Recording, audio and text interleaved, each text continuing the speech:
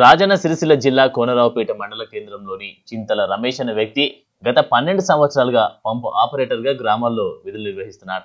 గత నాలుగు నెలలుగా తన కిడ్నీలు పాడైపోయాయని వారిది నిరుపేద కుటుంబం అని వారు ఆవేదన వ్యక్తం చేస్తున్నారు. అమ్మా నాన్నలో వయసు మందగించి రమేష్కు మెరుగైన వైద్యం చేయించలేక నిస్సహాయ స్థితిలో ఉన్నారని ఈ విషయంపై గ్రామ సర్పంచ్ పోకల రేఖ గారిని సంప్రదించగా రమేష్ కొన్ని సంవత్సరాలుగా గ్రామానికి సేవ చేస్తున్నాడని వాళ్ళది నిరుపేద కుటుంబం అయినందున మెరుగైన వైద్యం చేయించుకునే స్థితిలో లేనందున ఎవరైనా దాతలు అయినా స్వచ్ఛంద సంస్థలైనా తనకు సాయం చేయడానికి ముందుకు రావాలని మేం కూడా గౌరవ శాసనసభ్యులు చిన్నమనేని రమేష్ బాబు జెడ్పీ చైర్మన్ నాలకొండ అరుణ దృష్టికి కూడా తీసుకువెళ్ళామని సర్పంచ్ చెప్తున్నారు. ఊళ్ళే నల్లలు ఆపరేటర్గా నల్లలు పెడతాడు ఇరవై సంవత్సరాల నుంచి పెడుతుండు ఇప్పుడు గత ఆరు నెలల నుంచి రెండు కిడ్నీలు ఖరాబ్ అయ్యి ఆరోగ్యంగా ఆరోగ్యం బాగాలేకుండా మేము వైద్యం చేయించుకుందామంటే మా చేతిలో డబ్బులు ఏం లేవు.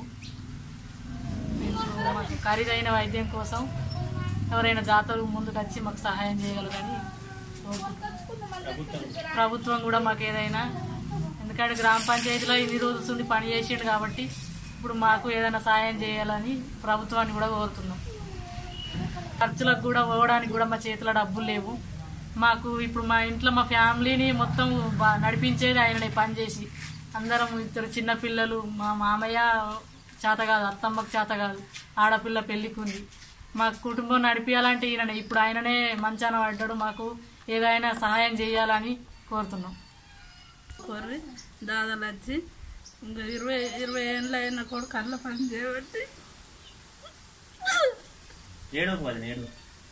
కోనరావుపేట గ్రామంలో చింతల్ రమేష్ అనే పంప పంప ఆపరేటర్ కోనరావుపేట గ్రామంలో మా గ్రామ గ్రామ పంచాయతీలో గత కొద్ది సంవత్సరాల నుండి పంప ఆపరేటర్గా పనిచేస్తున్నాడు.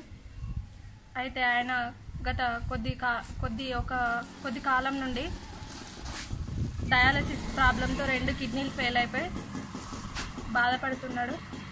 అయితే అతను చికిత్స కోసం మేము మా గ్రామ పంచాయతీ నుండి ఆర్థికంగా సహాయం చేసాం అయితే ఇంకా కూడా ఆయనకి నయం కావడం లేదు. అది బాగా పెద్ద ఎత్తున ప్రాబ్లం ఉందని డాక్టర్లు చెప్పినారు.